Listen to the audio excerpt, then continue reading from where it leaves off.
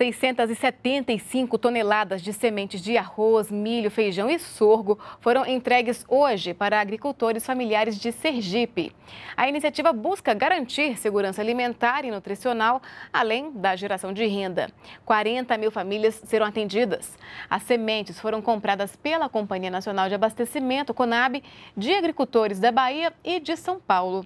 Esta é a entrega da primeira compra de sementes do Programa de Aquisição de Alimentos, um investimento de 4 milhões de reais.